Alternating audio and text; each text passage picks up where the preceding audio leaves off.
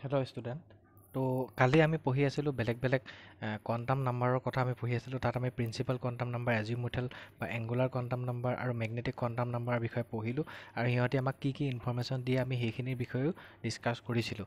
আৰু তাৰপাছত আমি গম পাইছিলোঁ যে তাত যেতিয়া যিটো এছ ছাবচেল এছ ছাবচেলৰ এটা অৰবিটেল থাকে পি ছাবচেলৰ তিনিটা অৰবিটেল থাকে যিকেইটাক আমি নাম দিছিলোঁ P X P Y P Z আৰু ডি ছাবচেলৰ পাঁচটা অৰবিটেল থাকে বুলি কৈছিলোঁ। তাৰ নাম আমি দিছিলোঁ D X Y D Y Z D X Z D X square minus Y square আৰু ডি জেড স্কুৱাৰ আৰু তাৰপিছত যেতিয়া এফ হয় এফ ছাবচেলৰ সাতটা অৰবিটেল থাকিব বুলি আমি পঢ়িছিলোঁ। হয়নে বাৰু? তো এফ ছাবচেলটো আমাৰ ইমান বেছি ইম্পৰ্টেণ্ট নহয়। তো আমাক এতিয়া অকল তোমালোকৰ কাৰণে এছ পি আৰু ডিটো বেছি ইম্পৰ্টেণ্ট তো আমি সেইটো কাৰণে এছ পি আৰু ডি অৰবিটেলৰ বিষয়ে আমি আজি আৰু অলপমান পঢ়িম। তো কি বুলি কৈছিলোঁ যে মেগনেটিক কোৱাণ্টাম নাম্বাৰে মেগনেটিক কোৱাণ্টাম নাম্বাৰে আমাক কি দিয়ে? অৰবিটেলখিনি দিয়ে। হয়? তো সেইখিনি কথা। তো লাহে লাহে গোটেইখিনি ৰিলেট হ'ব তোমালোকে বুজি পাবা ভালকৈ এতিয়া যিমানখিনি দেখুওৱা হৈছে সিমানখিনি বুজি পালে হৈ যাব। তাৰপাছত লাহে লাহে আমি ৰিলেট কৰি কৰি আমি আৰু আজি আৰু বুজিম। আজি আমাৰ টপিকটো হৈছে কি? Shape of different shape of different orbitals. বেলেগ বেলেগ অৰবিটেলছবিলাকৰ শ্বেপবিলাক কেনেকুৱা কেনেকুৱা ধৰণৰ হ'ব আমি সেইটোৰ বিষয়ে আজি ডিছকাছ কৰিম। এতিয়া বেলেগ বেলেগ অৰবিটেলখিনি মানে কি হ'ল? ইহঁতৰ শ্বেপবিলাক আমি জানিব লাগে বহুত বেছি ইম্পৰ্টেণ্ট হয় এইখিনি কথা। তো আমি এইখিনি পঢ়িম আজি শ্বেপ অফ ডিফাৰেণ্ট অৰবিটেলছ হৈ গ'ল? তো শ্বেপ অফ ডিফাৰেণ্ট অৰবিটেলছত আমি প্ৰথম প্ৰথম পঢ়িম a S orbital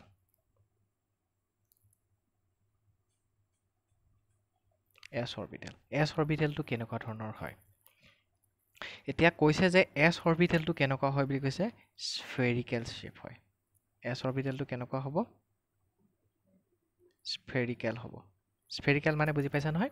স্ফেৰিকেল মানে বৃত্ত নহয় দেই চাৰ্কল নহয় স্ফেৰিকেল স্ফিয়াৰ মানে। তাৰমানে বলটোৰ নিচিনাই তাৰ স্ফিৰিকেল শ্বেপ হ'ব। এছ অৰবিটেলটো শ্বেপটো হ'ব স্পেৰিকেল এতিয়া অৰবিটেল মানে কি আছিলে? Where the probability of finding the is maximum সেইটোকে অৰবিটেল বুলি কয়। তো এছ অৰবিটেল মানে এছ অৰ এছ অৰবিটেল মানে যদি এছ অৰবিটেলত ইলেক্ট্ৰনটো থাকে তো তেতিয়াহ'লে এছ অৰবিটেলৰ শ্বেপটো কেনেকুৱা হ'ব? এনেকুৱা স্ফিয়াৰ হ'ব। তাৰমানে এটা স্ফিয়াৰ নিচিনা এটা জেগা পাবা। সেই জেগাটো এছ অৰবিটেল বুলি ক'ব আৰু সেই স্ফিয়াৰ নিচিনা জেগাটোত ইলেক্ট্ৰন পোৱাৰ প্ৰবেবিলিটি বহুত থাকিব। এইটো হ'লগৈ এছ অৰবিটেল এছ অৰবিটেলটো ইমান টান নহয়। নেক্সট আহিলে আমাৰ বি আমি পঢ়িম পি অৰবিটেল ইয়াৰ শ্বেপকেইটা মনত ৰাখিবলৈ ট্ৰাই কৰিবা দেই। পি অৰবিটেল তো পি অৰবিটেল আমি কেতিয়া পাওঁ? আমি চাই যাওঁ। পি অৰবিটেল আমি যেতিয়া কেতিয়া পাওঁ? যেতিয়া এল ইজুকেল টু ওৱান হয় তেতিয়া আমি তাক কি বুলি কওঁ? পি অৰবিটেল বুলি কওঁ। হয়নে বাৰু? আৰু যদি এল ইজুকেল টু ওৱান হয় তেতিয়া এম ইজুকেল টু কি হ'ব? মাইনাছ ওৱান জিৰ' আৰু প্লাছ ওৱান তিনিটা। হয়নে? তো তেতিয়াহ'লে যিটো আমাৰ পি অৰবিটে পি মানে পি ছাবচেল হ'ব। পি ছাবচেলৰ আমাৰ কেইটা থাকিব? অৰবিটেল তিনিটা থাকিব। কি? মাইনাছ ওৱান জিৰ' আৰু প্লাছ ওৱান। আমি যিকেইটা কি কি নাম দি লৈছিলোঁ? পি এক্স পি ৱাই আৰু পি জেড তিনিটা বেলেগ বেলেগ অৰবিটেল আমি পাম। হয়নে? এতিয়া আমি চাম প্ৰথম প্ৰথম ইহঁতৰ শ্বেপবিলাক কেনেকুৱা ধৰণৰ। মই প্ৰথম দেখাইছোঁ। P X. তিনিটা মই ইয়াতে আঁকি দিম। কেনেকৈ কেনেকুৱা হ'ব? এইডাল এক্সিছ যদি হয় এক্স ৱাই পি অৰবিটেলটোৰ শ্বেপটো হ'লগৈ ডাম্বেল তো এইটো হ'বগৈ কি? পি অৰবিটেল তাৰমানে এনেকুৱা এটা শ্বেপত ইলেক্ট্ৰন পোৱাৰ প্ৰবেবিলিটি বেছি। পি অৰবিটেলত ইলেক্ট্ৰন থাকিলে এনেকুৱা এটা শ্বেপত ইলেক্ট্ৰন পোৱাৰ এনেকুৱা এটা শ্বেপৰ এটা জেগাত মানে ইলেক্ট্ৰন পোৱাৰ প্ৰবেবিলিটি বেছি। তো এতিয়া চোৱা এইটো এক্স এক্সিছত যিহেতু আছে সেইটো কাৰণে আমি তাক কৈছোঁ পি এক্স গ'ল? নেক্সট এইটো এক্স এইটো যদি ৱাই হয় যদি তেতিয়া ৱাই এক্সিছত ইলেক্ট্ৰন পোৱাৰ প্ৰবেবিলিটিটো বেছি হয় তেতিয়াহ'লে ইয়াৰ নামটো কি হ'ব? পি ৱাই পি অৰবিটেলটো দেখিবলৈ এনেকুৱা হ'ব। তাৰপাছত নেক্সট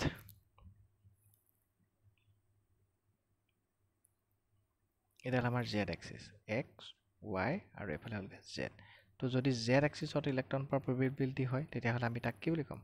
পি জেড এতিয়া এই যে মই যে আঁকিছোঁ যে এই যে যিখিনি গোল গোল এইটো আঁকিছোঁ যে শ্বেপটো এইটো হ'লগৈ শ্বেপ মানে এনেকুৱা এটা শ্বেপৰ ভিতৰত ইলেক্ট্ৰন পোৱাৰ প্ৰবেবিলিটি আছে মানে বেছি প্ৰবেবিলিটি বেছি। বুজি পাইছানে এই যিটো জেগাটো এই জেগাটো এই জেগা এনেকুৱা এটা জেগাত মানে ইলেক্ট্ৰন পোৱাৰ প্ৰবেবিলিটি বেছি। সেইটো কথা বুজোৱা হৈছে। বেলেগ একো নহয় অ'কে বেলেগ একো নহয় সেইটো কথাহে বুজোৱা হৈছে। এতিয়া এইটো জেগা হ'ল।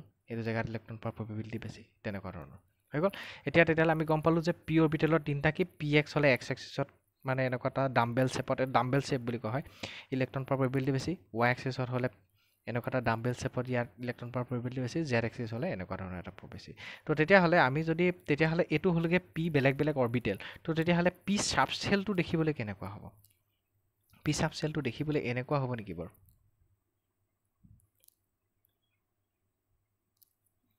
পি চাবচেলটো দেখিবলৈ এনেকুৱা হ'ব নেকি? মই বেলেগ বেলেগ কালাৰ ৰাখি দিছোঁ যাতে তোমালোকে ডিষ্টিংগুইছ কৰিব পাৰা। এইটো পি এক্স ৱাই আৰু নেক্সট জেড তেতিয়াহ'লে আমাৰ পি অৰবিটেলটো দেখিবলৈ এনেকুৱা হ'ব। অ'কে চৰি পি চাবচেলটো এক্স ৱাই আৰু জেড তো পি পি যিটো চাবচেল এইটো পি চাবচেল হা? পি চাবচেলটো দেখিবলৈ এনেকুৱা হ'ব। তাৰমানে পি চাবচেলৰ এনেকুৱা থাকিব। তো যদি এই ভায়লেট কালাৰটোত থকা নিচিনা লাগে থাকে থকাৰ প্ৰবেবিলিটি হৈছে p x p y p z bus এনেকুৱাই কথা আৰু বেলেগ একো কথা নাই। এইটো হ'বগৈ কি? পি চাবচেল পি চাবচেল এইটো আৰু পি অৰবিটেলকেইটা বাকী ভাগ কৰি পেলালে আমি কি কি? এক্স ৱাই জেড তো সেইটো কথা। আৰু মই তোমালোকক কৈছিলোঁ যে আমি অৰবিটেলবিলাক জেনেৰেলি কেনেকৈ লিখোঁ? এনেকৈ কৰি বক্স বনাই লিখোঁ। যে পি তিনিটা কি কি? তিনিটা। এনেকৈ। হৈ গ'ল। এই তিনিটা p x p y p z এনেকৈ কৰি লিখা হয়। এইকেইটা সিহঁতৰ শ্বেপকেইটা তো মনত ৰাখিবা পি শ্বেপ সদায় কি হয়? ডাম্বেল শ্বেপ হয়। হৈ গ'ল। তো আমি ইয়াত তেতিয়াহ'লে নেক্সটটো আহোঁ। নেক্সট আহোঁ ডি অৰবিটেলছ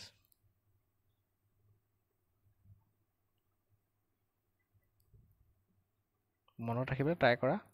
ডি অৰবিটেলছ এতিয়া ডি অৰবিটেলছটো আমি প্ৰথম প্ৰথম চাওঁ ডি অৰবিটেলছ আমি কেতিয়া পাওঁ? যেতিয়া এল ইজুকেল টু টু হয় মানে এংগুলাৰ কোৱাণ্টাম নাম্বাৰ টু হয় তেতিয়া আমি তাক ডি চাবচেল বুলি কওঁ। এতিয়া ডি চাবচেলত অৰবিটেল কেইটা থাকে আমি কেনেকৈ পাওঁ?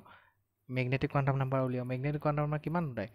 Minus two minus one zero' plus one আৰু প্লাছ টু হয়নে? তাৰমানে পাঁচটা। ডি তাৰ ইহঁতৰ নামকেইটা কি কি আছিলে?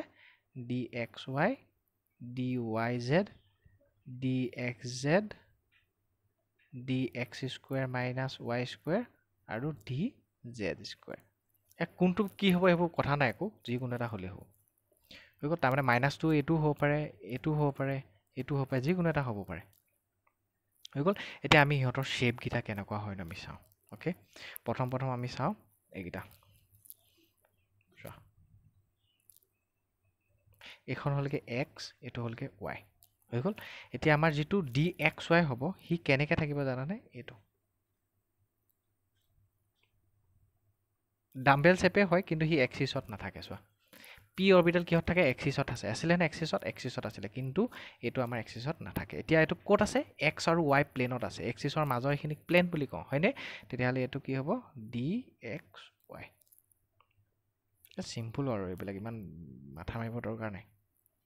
এতিয়া এইটো যেনিবা এক্স আচ্ছা অ'কে এইটো যেনিবা ৱাই এবাৰ ৱাই এবাৰ যেনিবা জেড নাইণ্টি ডিগ্ৰী হ'লেই হ'ল। তো এতিয়া এতিয়া কোৱাচোন এ এইটো যিটো হ'ব এইটো এইটো অৰবিটেলৰ নাম কি হ'ব? ডি ৱাই জেড বুজি পাইছা চাগে চবেই? মোৰ মতেতো বুজি পাইছা ৱাই জেড খালি এটা কথা মনত ৰখা চোৱা ডি অৰবিটেলটো এক্সিছত নাথাকে। কিহত থাকে? প্লেনত থাকে। নেক্সট। এক্স আৰু এডাল জেড ৱাইডাল যেনিবা এইফালে আছে।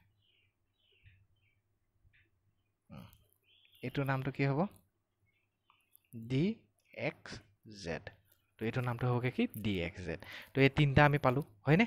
এতিয়া কথাটো হ'লগৈ কি ডি অৰবিটেলত ডি চাবচেলত পাঁচটা অৰবিটেল থাকে। কি কি? D x y d y z d x z আৰু আৰু দুটা থাকে d x square minus y square আৰু ডি জেড স্কুৱাৰ। হ'লনে? কিন্তু কথাটো হ'লগৈ এনেকুৱা ধৰণৰ এই তিনিটা যে তাৰে তিনিটা মানে ডিৰ তিনিটা আমি দুই ডিৰ যে পাঁচটা আছে তাক আমি দুটা ভাগত ভাগ কৰি লৈছোঁ। এই যিকেইটা d x y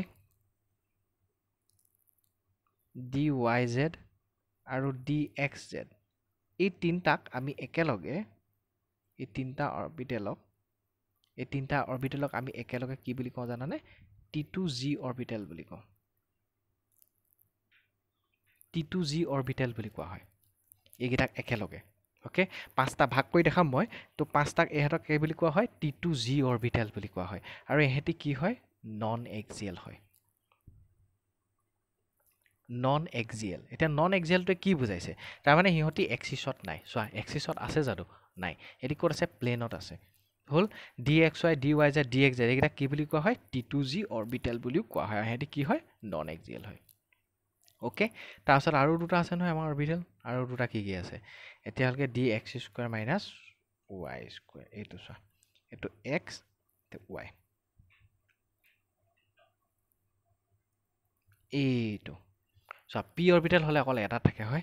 তো এইটো ডি অৰবিটেলত এইকেইটা এইটোক আমি কি বুলি কওঁ? D x square minus y square বুলি কওঁ। এনেকৈ যদি হয় তেতিয়াহ'লে আমি তাক কি বুলি ক'ম? D x square minus y square হৈ যাব এতিয়া তাৰপিছত next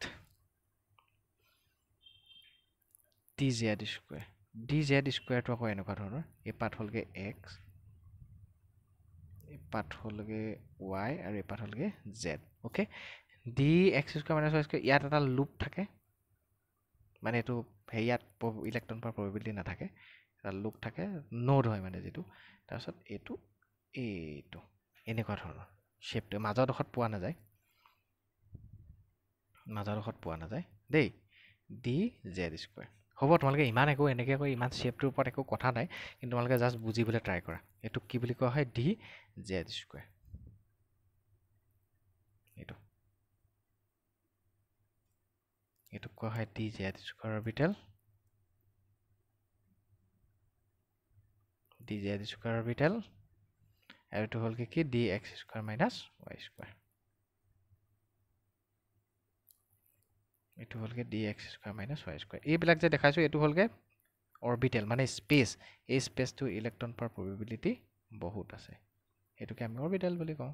এইটো। এইকেইটা। এইকেইটা মনত ৰাখা ইহঁতৰ শ্বেপকেইটা মনত ৰাখা। D x square minus y square d z square এনেকুৱা হ'ব আৰু d x y d y z d x z এনেকুৱা হ'ব হয়নে? এতিয়া কথাটো হ'লগৈ কি এইকেইটাক আমি একেলগে কি বুলি কওঁ টি টু জি বুলি কওঁ সেইটো নন এক্সিয়েল হয়। কিন্তু এইকেইটা কিহত আছে? এক্সিছত আছে হয়নে বাৰু? তো ইহঁতক আমি কি বুলি কওঁ জানানে?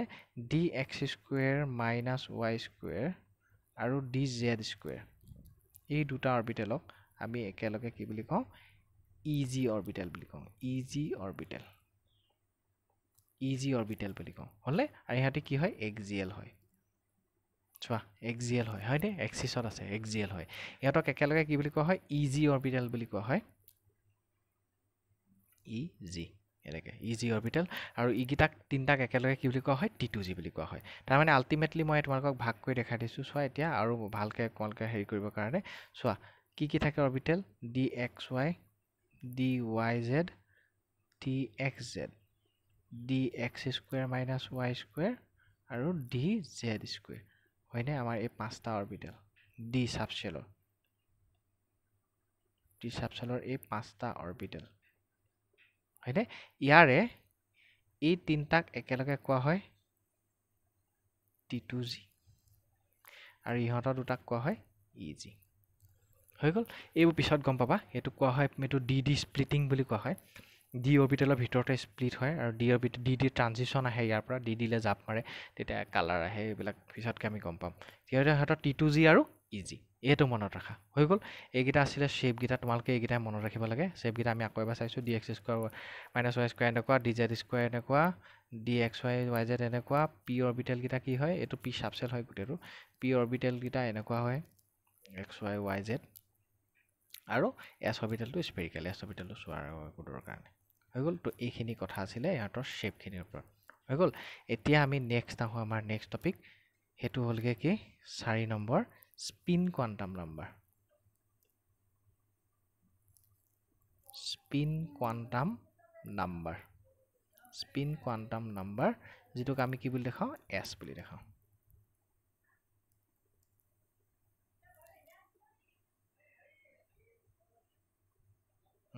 স্পিন কোৱাণ্টাম নাম্বাৰ যিটোক আমি এছ বুলি দেখুৱাওঁ হৈ গ'ল? এতিয়া স্পিন কোৱাণ্টাম নাম্বাৰটোনো কি হয়? ই কি ৰিপ্ৰেজেণ্ট কৰে? আমি সিহঁতে কালিৰ নিচিনাকৈ লেখোঁ নেক্সট আগৰ ক্লাছৰ নিচিনাকৈ। It represents it represents spin spin of an electron ই কি ৰিপ্ৰেজেণ্ট কৰে? এটা ইলেক্ট্ৰনৰ স্পিনটো ৰিপ্ৰেজেণ্ট কৰে। About its own axis about it own axis চোৱা এতিয়া কি হ'ল? তেওঁলোকে পাছত গম পালে যে ইলেক্ট্ৰন এটা কি হয় যেতিয়া ইলেক্ট্ৰন এটা ঘূৰি ফুৰে অ'কে ইলেক্ট্ৰন এটা ঘূৰি ফুৰিলে ই কি হয় এইটো যেনিবা নিউক্লিয়াছ হয় ইয়াৰ চাৰিওফালে ইলেক্ট্ৰনটো ঘূৰি ফুৰিছে। ঠিক যেনেকৈ পৃথিৱীখনে কি কৰে পৃথিৱীখনে সূৰ্যৰ চাৰিওফালেও ঘূৰি ফুৰে যিটো এক পাক হ'লে আমি এক বছৰ বুলি কওঁ হয়নে? তো ঠিক তেনেকৈ ইলেক্ট্ৰন এটাও ইয়াৰ চাৰিওফালে ঘূৰি ফুৰে। হৈ গ'ল। আৰু নেক্সট কথা পৃথিৱীখনে নিজৰ এক্সিছতো ঘূৰি থাকে থাকেনে নাথাকে? সেইটো কাৰণে দিন ৰাতি হয়। তো ঠিক তেনেকৈ ইলেক্ট্ৰনটো কি কৰে বুলি কৈছে? নিজৰ এক্সিছতো ঘূৰি থাকে বুলি কৈছে। ইলেক্ট্ৰনটোৱে নিজৰ এক্সিছতো ঘূৰি ঘূৰি নিজৰ এক্সিছত ঘূৰি ঘূৰিহে সি নিউক্লিয়াছৰ চাৰিওফালে ঘূৰি ফুৰে। এই যে নিজৰ এক্সিছত ঘূৰি থাকে সেইটোকে আমি স্পিন বুলি কওঁ। আৰু সেইটো কোনে ৰিপ্ৰেজেণ্ট কৰে? স্পিন কোৱাণ্টাম নাম্বাৰে ৰিপ্ৰেজেণ্ট কৰে। ইলেক্ট্ৰন এটা তেতিয়াহ'লে কি হ'ব বুলি ক'লোঁ? একদম পৃথিৱীখনৰ নিচিনাকৈ নিজৰ এক্সিছত ঘূৰি ঘূৰিহে সি কি কৰে? নিউক্লিয়াছ তাৰ চাৰিওফালে ঘূৰি ফুৰে। হৈ গ'ল। এতিয়া নিজৰ এক্সিছত যেতিয়া ইলেক্ট্ৰনটো ঘূৰি ফুৰে সি দুটা ভাগে ঘূৰিব পাৰে হয়নে বাৰু? চোৱা সি হয় এইটো যেনিবা তাৰ এক্সিছ হয় ইলেক্ট্ৰনটোৰ সি হয় এনেকৈ কৰি ঘূৰিব পাৰে নহয় কেনেকৈ ঘূৰিব পাৰে? এনেকৈ ঘূৰিব পাৰে। হয়নে? এতিয়া চোৱা তোমালোকে তোমালোকেতো হেৰি দেখিছা চাগে ঘড়ী দেখিছা ঘড়ীৰ কাটাডাল কেনেকৈ ঘূৰে বাৰু? এনেকৈ ঘূৰে নে এনেকৈ ঘূৰে? এনেকৈ ঘূৰে। তো তাৰমানে এইটোক আমি কি বুলি ক'ম এনেকৈ যদি ঘূৰে সেইটোক আমি কি বুলি ক'ম ক্লক ৱাইজ তাৰমানে ঘড়ীৰ কাটাৰ নিচিনাকৈ ঘূৰিছে। হৈ গ'ল লেফ্ট টু ৰাইট তাৰপাছত নেক্সট উল্টাকৈ ঘূৰিলে সেইটোক আমি কি বুলি ক'ম? এণ্টি ক্লক ৱাইজ তাৰমানে ঘড়ীৰ কাটাৰ বিপৰীত দিশত। তো ক্লক ৱাইজ ঘূৰিব পাৰে বা এণ্টি ক্লক ৱাইজ ঘূৰিব পাৰে হয়নে?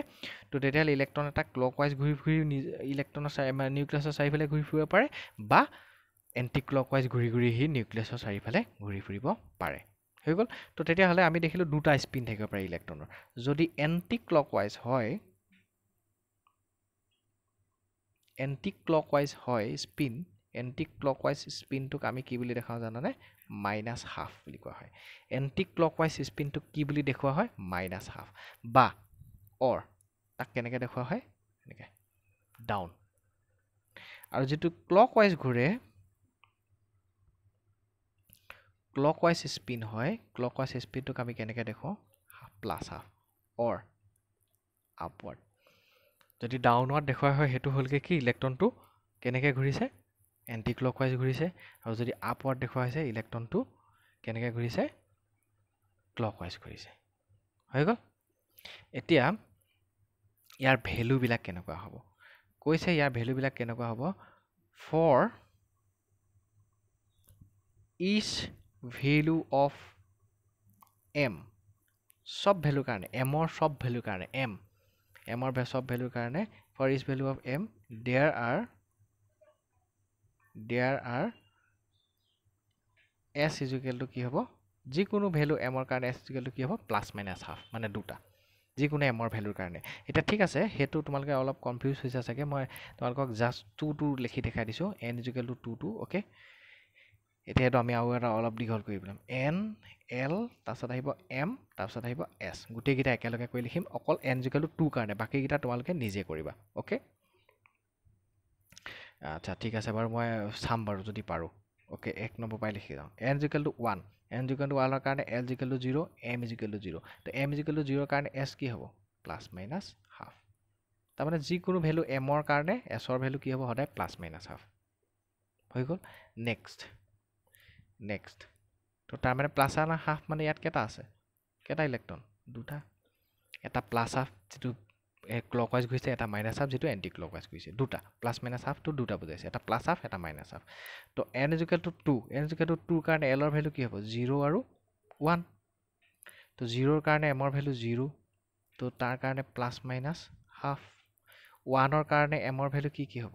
মাইনাছ ওৱান জিৰ' আৰু প্লাছ ওৱান মাইনাছ ওৱানৰ কাৰণে প্লাছ মাইনাছ হাফ জিৰ'ৰ কাৰণে প্লাছ মাইনাছ হাফ প্লাছ ওৱানৰ কাৰণে প্লাছ মাইনাছ হাফ কোৱাচোন ট'টেল ইলেক্ট্ৰন কেইটা হ'লগৈ? আঠটা। হ'লনে বাৰু? হ'লনে? চোৱা চাৰিটা চাৰি দুই মাল্টিপ্লাই কৰিলে আঠটা। হৈ গ'ল বুজি পাইছা চাগে চবেই? এই বুজি পাইছা ইমান উজোৱা এইটো কি বুজি পাবলৈ তো তাৰপিছত নেক্সট আহিলে এন জিকেল টু থ্ৰীৰ কাৰণে। এন জিকেল টু থ্ৰীৰ কাৰণে এলৰ ভেলু আমাৰ কি কি হ'ব? জিৰ' ওৱান আৰু টু জিৰ'ৰ কাৰণে এমৰ ভেলু কি কি হ'ব? জিৰ' আৰু জিৰ'ৰ কাৰণে এছৰ ভেলু কি হ'ব? Plus minus half. ওৱানৰ কাৰণে কি কি হ'ব? মাইনাছ ওৱান জিৰ' আৰু প্লাছ ওৱান। মাইনাছ ওৱানৰ কাৰণে কি হ'ব? Plus minus half. জিৰ'ৰ কাৰণে প্লাছ মাইনাছ হাফ। প্লাছ ওৱানৰ কাৰণে plus minus half. Two tour কাৰণে কি কি হ'ব? Minus two minus one zero' plus one plus two. Zero' plus one plus two. এতিয়া মাইনাছ টুৰ কাৰণে প্লাছ মাইনাছ হাফ। মাইনাছ ওৱানৰ কাৰণে প্লাছ মাইনাছ হাফ। জিৰ'ৰ কাৰণে প্লাছ মাইনাছ হাফ প্লাছ ওৱানৰ কাৰণে প্লাছ মাইনাছ হাফ প্লাছ টুৰ কাৰণে plus minus half.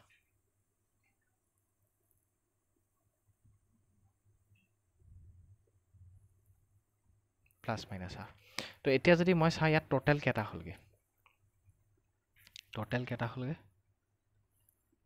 যদি চোৱা নহয় ট'টেল এইটিনটা হ'ব। সেই যে two dot eight dot eighteen আহিছেনে চোৱা? Two dot eight dot eighteen আহিছেনে কেনেকৈ আহিছে গম পালানে কথাটো? এইটোৰ পৰা আহিছে। তো কথাটো এইটোৱে যে যিকোনো ভেলু এমৰ কাৰণে এমৰ যিকোনো ভেলুৰ কাৰণে এছৰ ভেলু সদায় কি হ'ব? প্লাছ মাইনাছ হাফ হ'ব। সেইটোৱে কথা। বেলেগ একো কথা নাই। হৈ গ'ল। ইমানখিনি আছিলে আমাৰ কোৱাণ্টাম নাম্বাৰ বুজি চাগে পালা চবেই। মোৰ মতেতো বুজি পাব লাগে। ইমানখিনিয়ে জানিব লাগে। যিমানখিনি জানিব লাগে মই সিমানখিনিয়ে পঢ়াইছোঁ। অ'কে এতিয়া আমি বহুত এটা ইম্পৰ্টেণ্ট টপিক পঢ়িবলৈ গৈ আছোঁ যিটো তোমালোকে মোৰ বোধেৰে কেতিয়াও মানে মিছ নকৰিবা দেই ক্লাছটো কৈছোঁ শুনা writing the electronic configuration writing the electronic configuration writing the electronic configuration and filling of orbitals এতিয়া আমি ইলেক্ট্ৰনিক কনফিগুৰেশ্যন কেনেকৈ লিখিম? এটা যিকোনো এটা এলিমেণ্টৰ কাৰণে ইলেক্ট্ৰনিক কনফিগুৰেশ্যন আমি কেনেকৈ লিখিম? হৈ গ'ল। তাৰ আগতে আমি পঢ়ি লওঁ representation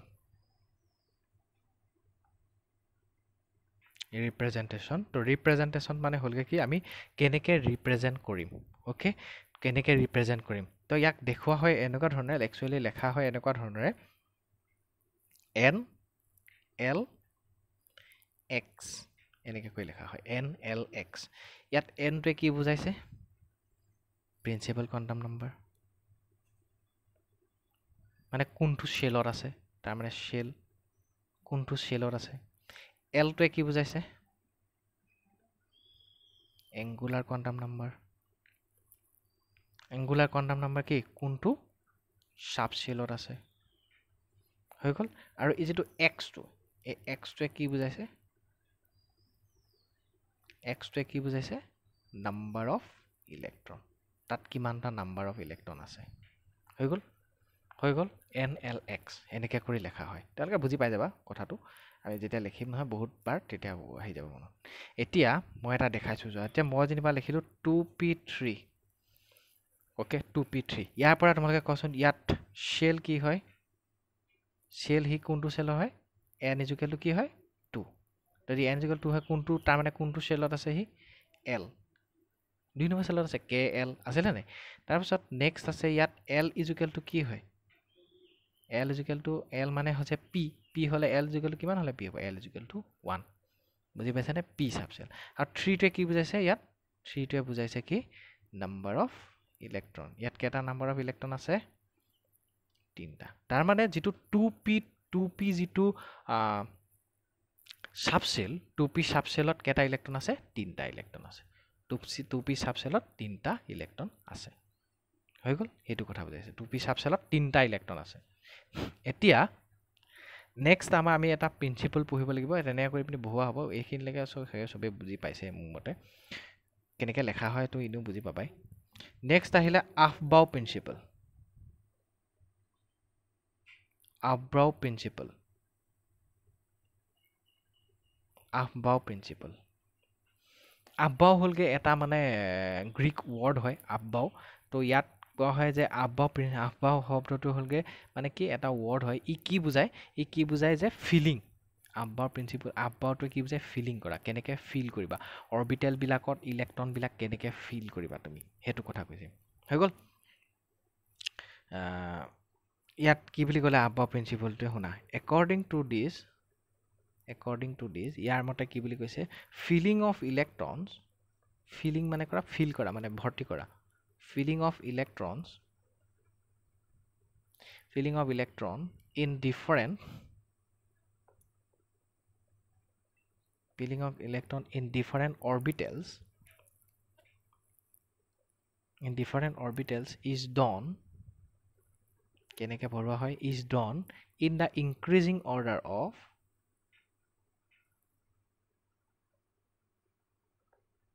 in the increasing order of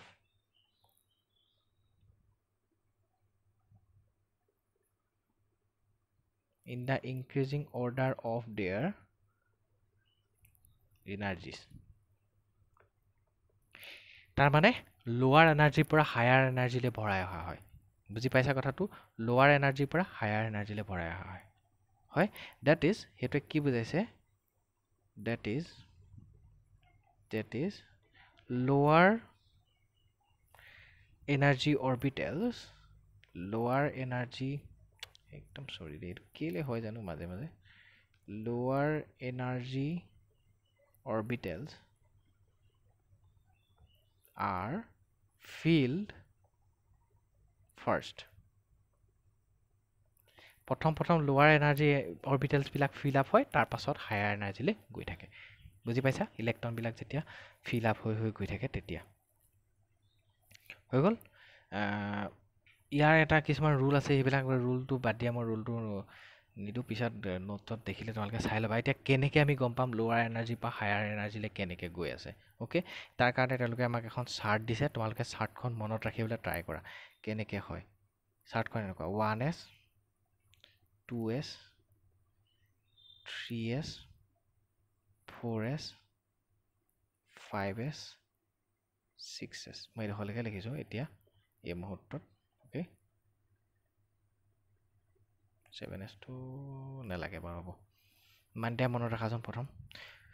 two এছৰ পাছত আহিব টু পি থ্ৰী এছত আহিব থ্ৰী পি থ্ৰী ডি তাৰপিছত আহিব ফ'ৰ এছৰ পাছত four p four d four f এতিয়া তোমালোকক মই সুধিম থ্ৰী এফ অৰ্বিটেলটো আমি পাম নে নাপাম আৰু কেলৈ নাপাম? সেইটো কুৱেশ্যন পৰীক্ষাত আহে।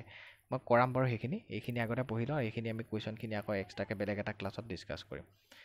Five p five d five f six p six d তাৰপাছত আৰু দুটা আঁকি দিছোঁ একেবাৰে।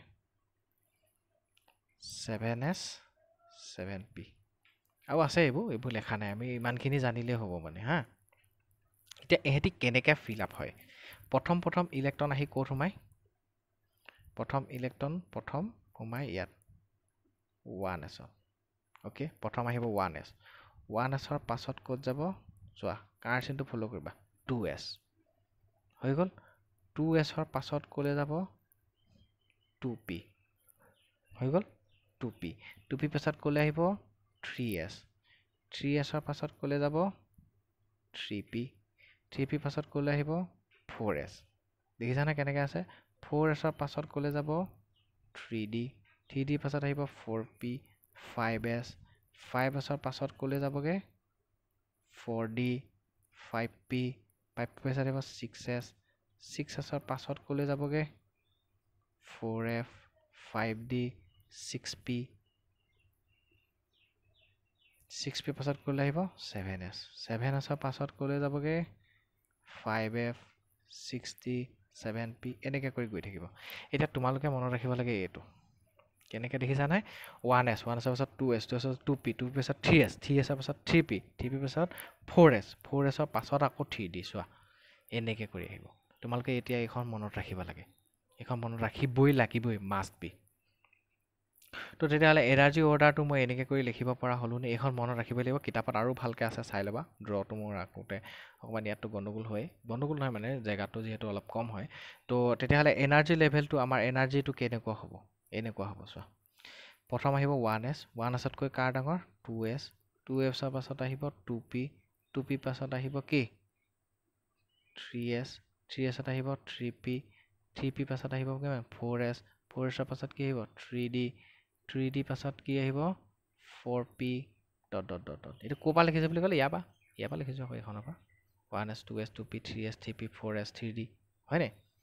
এনেকৈ কৰি লিখিছোঁ। তাৰমানে এইফালে মই যিমানে গৈ থাকিম এইফালে এনাৰ্জিটো কি হৈ হৈ গৈ আছে ইনক্ৰিজ হৈ হৈ গৈ আছে।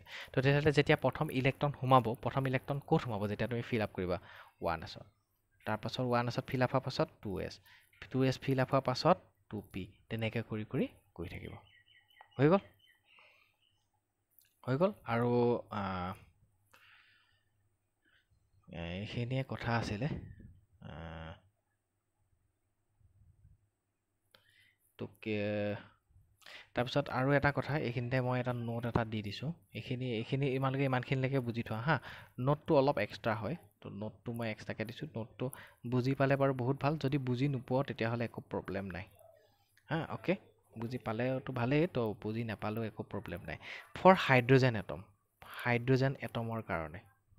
হাইড্ৰজেন এটমত কেইটা ইলেক্ট্ৰন থাকে? এটা ইলেক্ট্ৰন থাকে হয়নে? তো হাইড্ৰজেন এটমৰ কাৰণে অকল হাইড্ৰজেন এটমৰ কাৰণেহে দেই। ওৱান এছ চোৱা হাইড্ৰজেন এটমৰ এটা ইলেক্ট্ৰন থাকে ইলেক্ট্ৰন ক'ত সোমাব? ওৱান এছত সোমাব। আৰু এছ অৰবিটেলত কেইটা ইলেক্ট্ৰন সোমাব পাৰে মেক্সিমাম দুটা ইলেক্ট্ৰন সোমাব পাৰিব। এইটো আমি পাম নেক্সট ওৱান এছ তাৰ ওৱান এছতকৈ ডাঙৰ কি হয়? টু এছ আৰু টু পি ইয়াৰ কাৰণে সমান হয়। হাইড্ৰজেনৰ কাৰণে two s orbital two p orbital সমান হয়। কাৰণ ইলেক্ট্ৰন তাত নোসোমায়। বুজি পাইছেনে কথাটো? টু এছ আৰু টু পি সমান হয়। তো ঠিক তেনেকৈ three s three p three d এইকেইটাও তাৰ কাৰণে হাইড্ৰজেনৰ কাৰণে সমান হয়। সমান এনাৰ্জি থাকে মানে। বুজি পাইছানে? হাইড্ৰজেনৰ কাৰণে এইটো এক্সেপশ্যনেল কেছ হয়। হাইড্ৰজেনৰ কাৰণে ইহঁতৰ গোটেইকেইটাতে সমান এনাৰ্জি থাকে। ওৱান এছতকৈ ইয়াৰ ইহঁতৰ তাৰমানে আমি আগত কি পাইছিলোঁ? আমি আগত পাইছিলোঁ যে টু এছতকৈ টু পি এনাৰ্জি বেছি বুলি পাইছিলোঁ বেলেগৰ কাৰণে বেলেগৰ কাৰণে। কিন্তু হাইড্ৰজেনৰ কাৰণে কি হয় বুলি কৈছে অকল হাইড্ৰজেনৰ কাৰণে দেই কনফিউজ নহ'ব। হাইড্ৰজেনৰ কাৰণে কি হয় বুলি কৈছে টু এছ আৰু টু পি এনাৰ্জি ছেইম থাকে। হৈ গ'ল? যেতিয়া এনেকুৱা যেতিয়া হয় নহয় এইবিলাকক কি বুলি কোৱা হয় যেতিয়া সিহঁতৰ যেতিয়া অৰবিটেল দুটাৰ এনাৰ্জি ছেইম থাকে যেতিয়া দুটা অৰবিটেলৰ বা তিনিটা অৰবিটেলৰ যাৰ মানে অৰবিটেলছখিনি যেতিয়া এনাৰ্জি ছেইম থাকে এতিয়া ইয়াত যেনেকৈ ইহঁতৰ একেই ইহঁতৰ এনাৰ্জি একেই হয়নে এনেকুৱা অৰবিটেলখিনিক আমি কওঁ ডি জেনেৰেট অৰবিটেল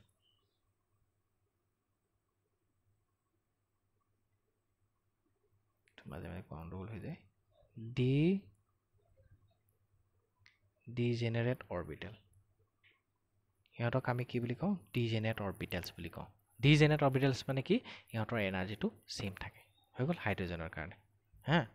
এতিয়া ইয়াৰ একচুৱেল ডেফিনেশ্যনটো এনেকুৱা ধৰণৰ মই ডেফিনেশ্যনটো লিখি দিছোঁ। ডেফিনেশ্যনটো হ'লগৈ কি হাইড্ৰজেনৰ কাৰণেহে দেই এইটো মানে এই কথাটো। আৰু ডিজেনেট অৰবিটেলটো চবৰ কাৰণে সেইটো কাৰণে চবৰ কাৰণে বেলেগ বেলেগ হ'ব। কিন্তু এই যিটো আমি ওপৰত যিটো কণ্ডিশ্যন লিখিলোঁ এইটো অকল হাইড্ৰজেনৰ কাৰণে। এতিয়া ডিজেনেট অৰবিটেল মানেনো কি হয়? ডিজেনেট অৰবিটেল মানে কৈছে the orbitals the orbitals which have the orbitals which have same energy is known as is known as degenerate orbital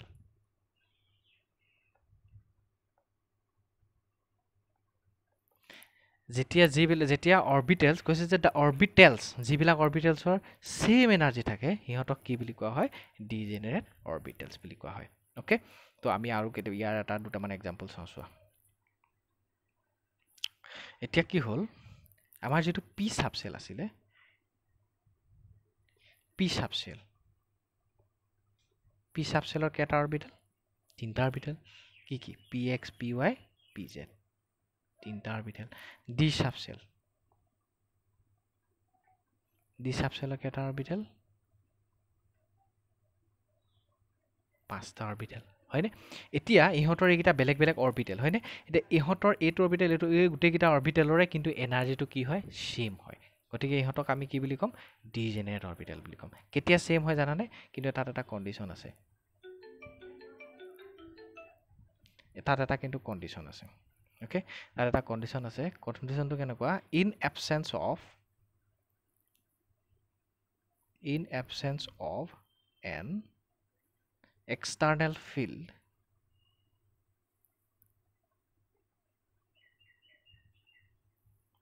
They are degenerate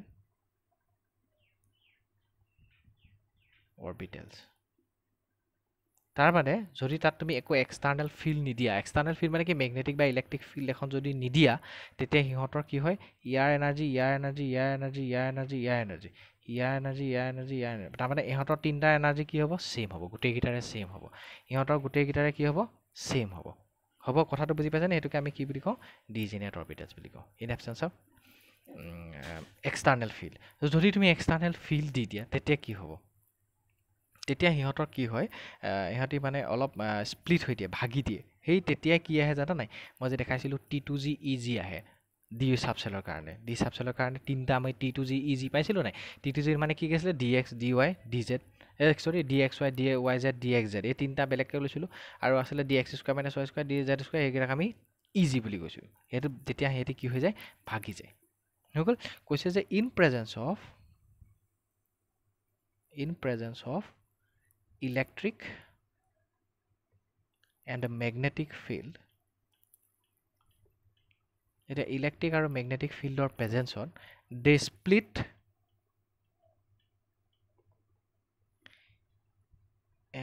into different energy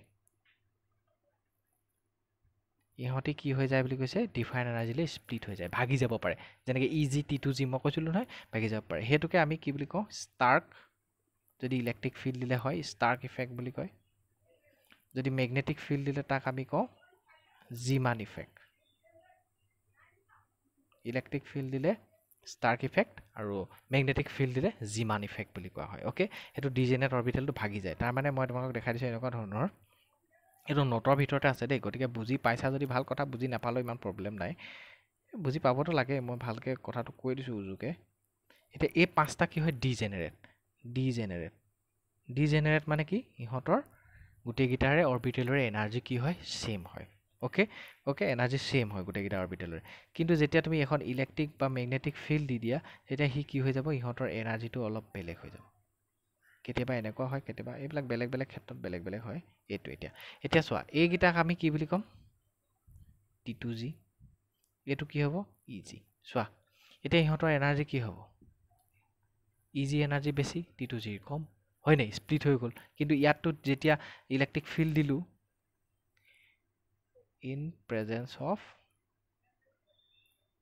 external e external লিখিছোঁ হয় e x t field external ফিল্ডৰ প্ৰেজেঞ্চত ই এনেকৈ split হৈ দিব পাৰে। কিন্তু যদি নিদিয়া তেতিয়া ছেইম থাকে হৈ গ'ল? আৰু যেতিয়া আমি ইলেক্ট্ৰন এটা যেতিয়া ভৰাম তেতিয়া কিন্তু সি ডিজেনেৰেট হৈ থাকে গতিকে এইবিলাক একো চিন্তা কৰিব লগা কথা নাই। হৈ গ'ল? এতিয়া এইটো আছিলে নোট এইটো হ'লগৈ ডিজেনেট অৰবিটেলছ মানে কি? সেইটো তোমালোকে জানিব লাগে। সেইটো কাৰণে মই দিছোঁ ডিজেনেট অৰবিটেল মানে কি হয় যিবিলাক অৰবিটেলৰ এনাৰ্জি কি থাকে ছেইম থাকে। এতিয়া সিহঁতৰ গোটেইকেইটাৰ এনাৰ্জি ছেইম সেইটো কাৰণে আমি তাক ডিজেনেট বুলি কৈছোঁ। এতিয়া পি অৰবিটেল ইয়াৰ গোটেইকেইটাৰ ছেইম যেতিয়া ইলেক্ট্ৰিক একো ফিল্ড নিদিয়া তুমি ফিল্ডটো জেনেৰেলি দিয়া নহয় বেলেগ বেলেগ কাৰণত দিয়া হয় তো যেতিয়া ফিল্ড নিদিয়া তেতিয়া সিহঁতৰ এনাৰ্জি কি হয় ছেইম হয়। গতিকে আমি সিহঁতক কি বুলি কওঁ ডিজেনেৰেট অৰবিটেলছ হৈ গ'ল। এতিয়া নেক্সট আমি বেলেগ এটা টপিক পঢ়োঁ। টপিকটোৰ নামটো হ'লগৈ কি? Pauli's exclusive principle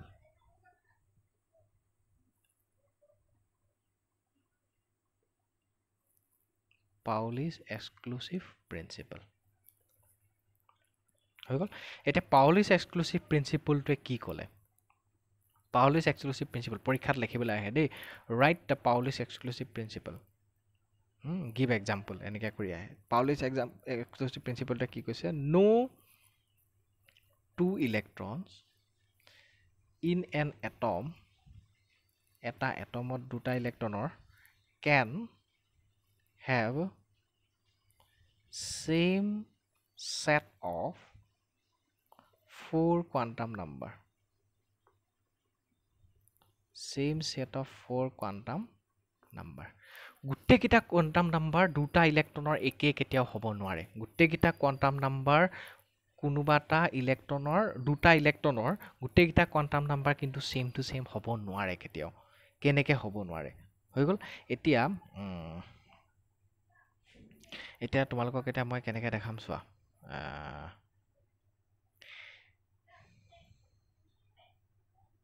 এতিয়া মই লেট ধৰি লৈছোঁ।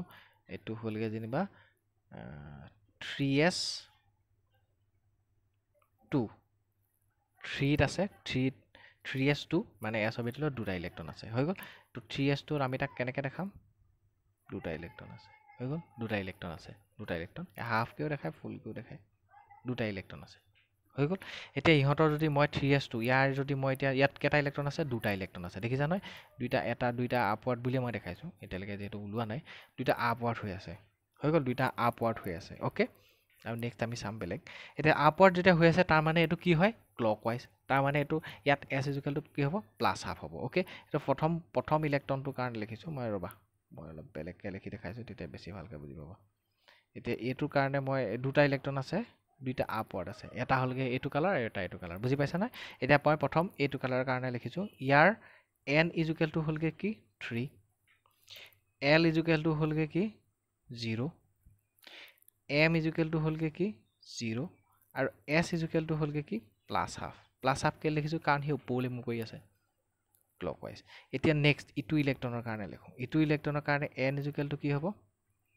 থ্ৰী এল ইজুকেলটো কি হ'ব? জিৰ' এম ইজুকেলটো কি হ'ব? জিৰ' আৰু এছ ইজুকেলটো কি হ'ব? প্লাছ হাফ হয়নে? হয়নে? এতিয়া আমাক কৈছে যে দিছ ইজ ৰং এইটো ভুল বুলি কৈছে। দুটা ইলেক্ট্ৰনৰ চোৱা এই দুটা মিলিছে এই দুটা মিলিছে এই দুটা মিলিছে। কিন্তু এইকেইটাও মিলিছে হয়নে? চব মিলিছে। গোটেইকেইটা কেতিয়াও মিলিব নোৱাৰে। চাৰিটা কোৱাণ্টাম নাম্বাৰ কেতিয়াও মিলিব নোৱাৰে। তাৰমানে আমাৰ এইটো হ'লগৈ কি? ভুল। তোমাৰ এইটো লেখাটো তেতিয়াহ'লে কি হৈছে? ভুল হৈছে। ৰং বুজি পাইছেনে? চাৰিটা ছেট অফ কোৱাণ্টাম নাম্বাৰ কেতিয়াও দুটা ইলেক্ট্ৰনৰ একেই হ'ব নোৱাৰে। হৈ গ'ল?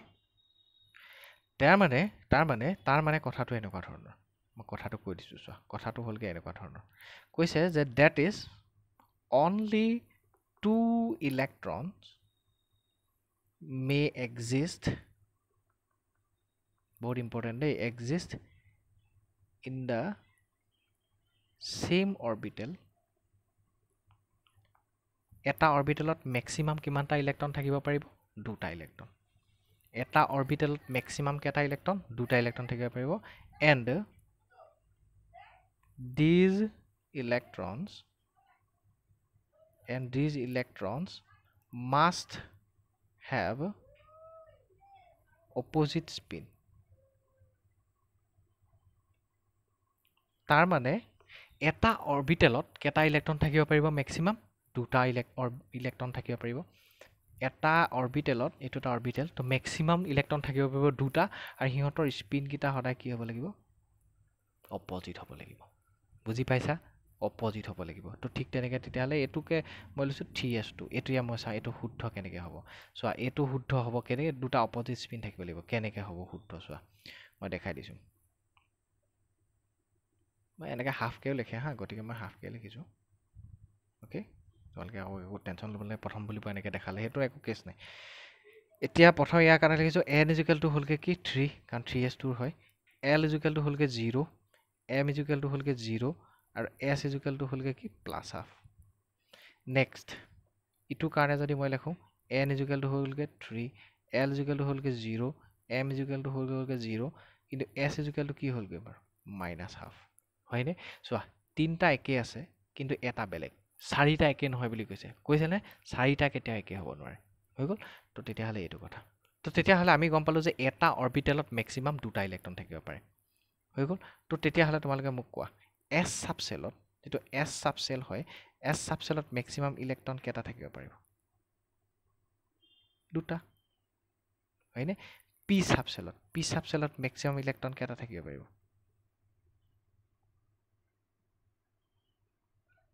ছটা। ডি চাবচেলত ডি চাবচেলত মেক্সিমাম ইলেক্ট্ৰন কেইটা থাকিব পাৰিব? কেইটা পাৰিব? অঁ দহটা। তো ঠিক তেনেকৈ ডি এফত কেইটাত পাৰিব? ফৰ্টিনটা তো সেইটোকে কোৱা হৈছে বুজিলানে?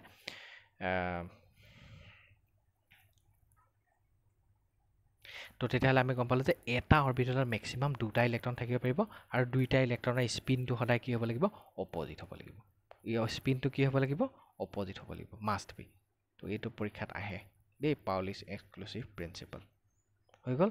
নেক্সট আমাৰ আহিলেকে কি? হোমচুল অফ মেক্সিমাম মাল্টিপ্লিচিটি হা সেইটো আমি পঢ়িম নেক্সট ক্লাছত আৰু ইলেক্ট্ৰনিক কনফিগাৰেশ্যনখিনি গোটেইখিনি লিখিম। তো এটা ৰুল আছে সেইটো পঢ়ি পিনি নেক্সট ইলেক্ট্ৰনিক কনফিগাৰেশ্যন আমি লিখিব পৰা হৈ যাম। ইলেক্ট্ৰনিক কনফিগাৰেশ্যন লিখিব পৰা হ'লে আৰু আমাৰ চেপ্টাৰটো খতমেই কাৰণ চেপ্টাৰটো ইলেক্ট্ৰনিক কনফিগাৰেশ্যনলৈকে আছে তো ইমানখিনি আছিলে। তো আৰু নেক্সট হয়তো নেক্সট দুটা ক্লাছত আমাৰ চেপ্টাৰটো খতম হ'ব। তো আজিলৈ আমাৰ ইমানেই। তো মই হোপ চবেই চাগে বুজি পালা। বুজি নাপালে মোক আকৌ ক্লাছত মেছেজত সুধিবা। আই উইল বি দেৰ মোৰ মতেতো যদি তোমালোকে খালী ভিডিঅ'টো কমপ্লিটলি চাবা তো ইমানেই কথা থেংক ইউ